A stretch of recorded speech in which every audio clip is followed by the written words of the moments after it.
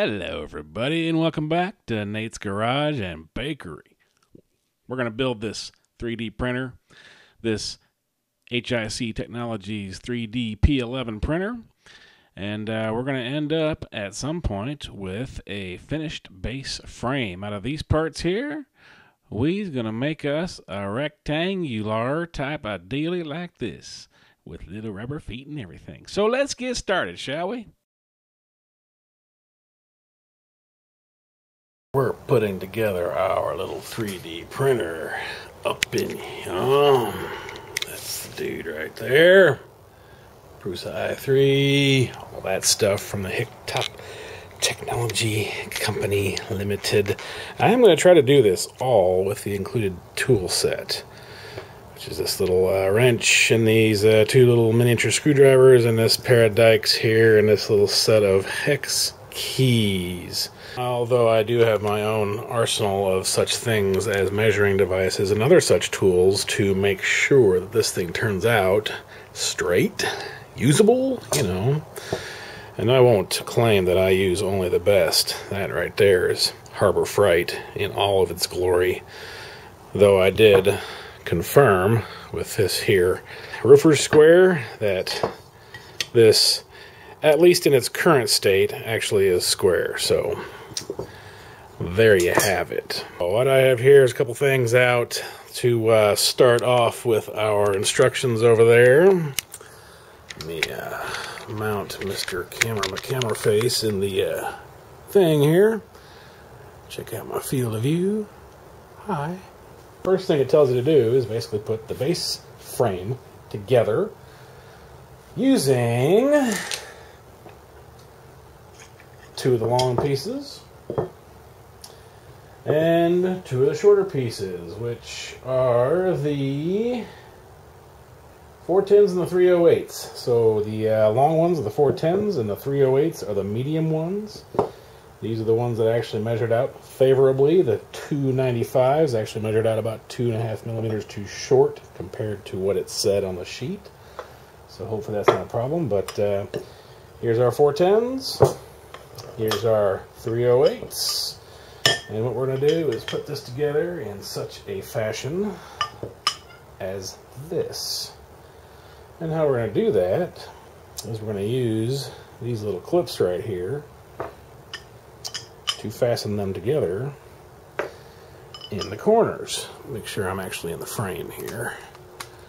This whole thing. In the corners like so. And we're going to do that using not only those brackets, but oh, this is the most spread out user manual ever. They have like one picture per page of a screw. So we're gonna use these uh, M5 by 8 to uh, put this thing on here. So the M5 by 8s uh, M5 by 8s. There's the whole package of our M5 by 8s. And we're using the M5 nuts, which are these little uh, interestingly shaped things that actually fit within the rails of the extruded aluminum, as they say in proper Queen's English. So we need two, four, six, eight of these. So, two, four, six, eight. Who do we appreciate? Jamil. Come on. Something, something about Badeffa. And we'll get eight of these out. Four, eight. Ta-da. Now,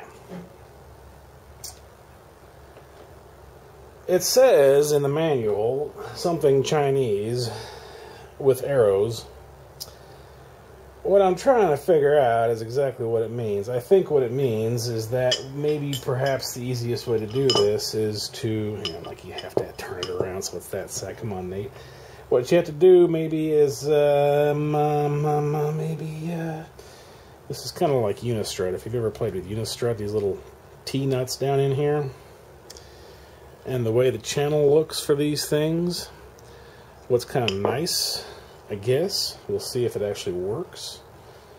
What's kind of nice is uh, they don't give you any washers, so these are kind of just uh, I don't know what, whatever. Okay, these are obviously the most accurately casted whatever the hell these things are ever with perfectly flat smooth spaces on the mating things there not shouldn't matter but what we're going to do is put that through there and screw one of these on.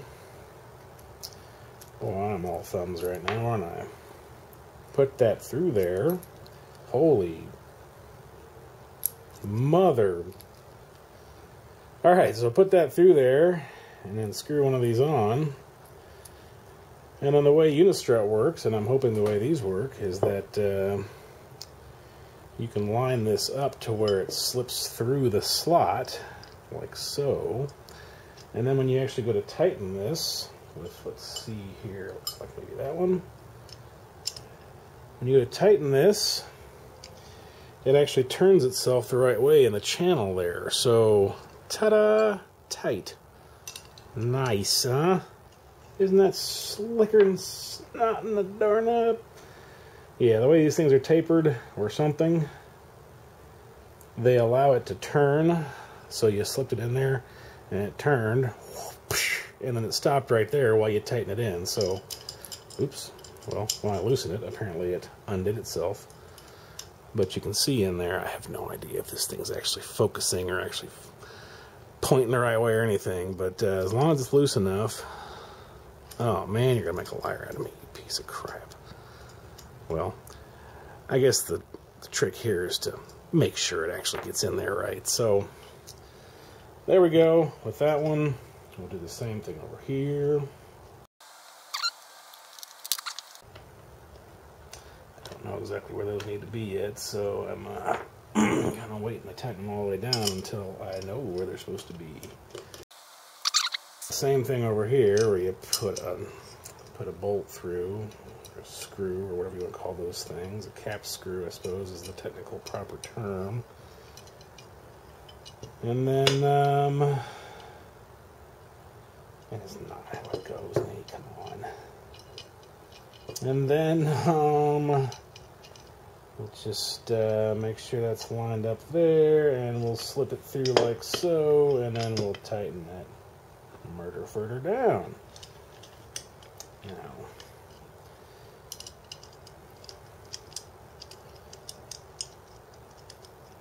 I have a feeling this one did not grab.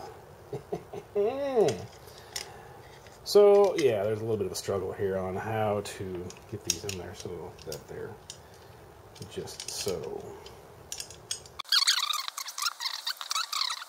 The long rails are supposed to go butt up against the short rails, not the other way around. So the long rails butt up on the short rails, butt up. Tighten. I'm not going to over torque these, I hope. Loosen that just enough so it slides a little bit. And then I'm going to do it this way down on my really flat table. Yeah, right. It's all old particle board under here. Hopefully my sheet is a good filler for crappy surface. Alright, so nice and tight there. Nice and tight there. And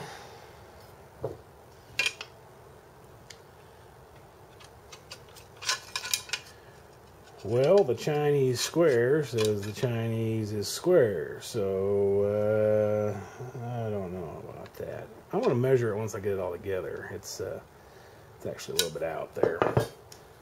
I'm gonna go ahead and put it all together, this uh, bottom square here, and then measure it and or adjust it. So uh, maybe I'll fast forward through this part of the video, but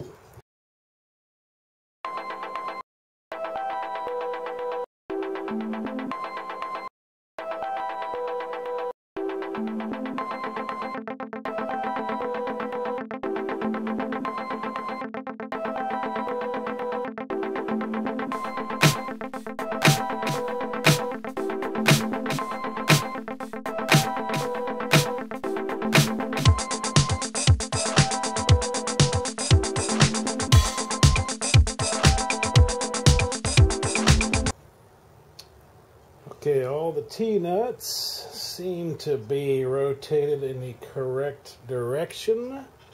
So what we have here is our frame. Now, what I'm going to do one of the ways you can make sure something is square is to measure from one side to the other. Going to start at the one mark here. Now this isn't the most accurate ruler because it's marked in freaking sixteenths of an inch, but uh, it is long enough at the very least. So what we got here, I'm going to have to uh, concentrate on this here or something. We got in this direction is 21 and a half.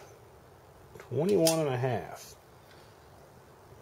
Now we measure the other diagonal. It actually said 22 and a half, by the way, but since I'm starting on the one, I subtracted that one. That's 20. Okay, so there's the one. That is also 22 and a half on the nose. That, ladies and gentlemen, is a square rectangle.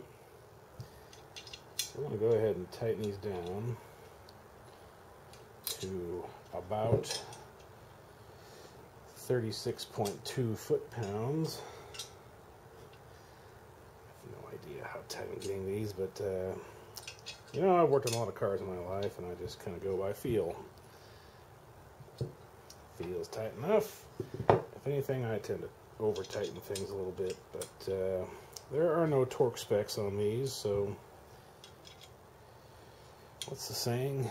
Tighten it till it cracks, back it off half a turn, something like that.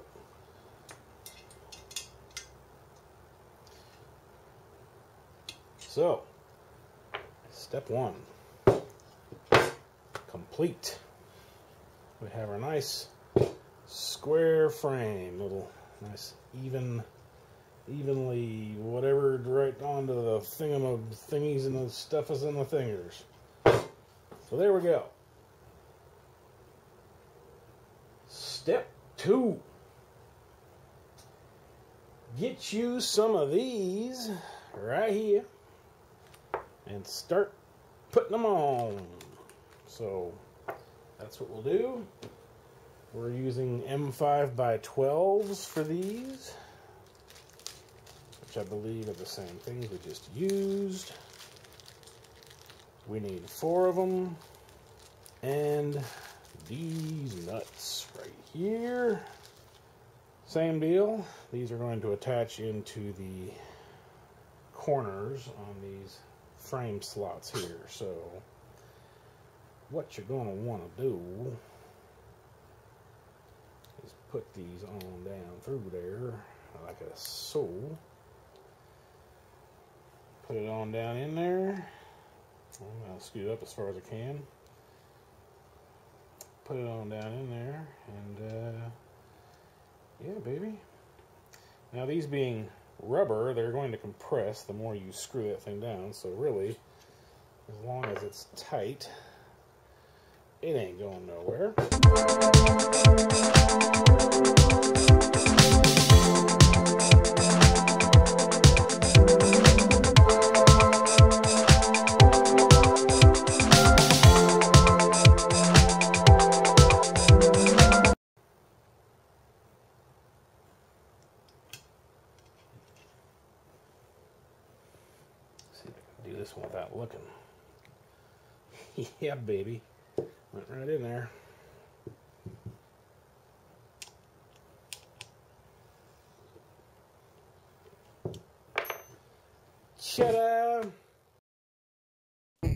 Well, that's it for this episode on Nate's Garage and Bakery.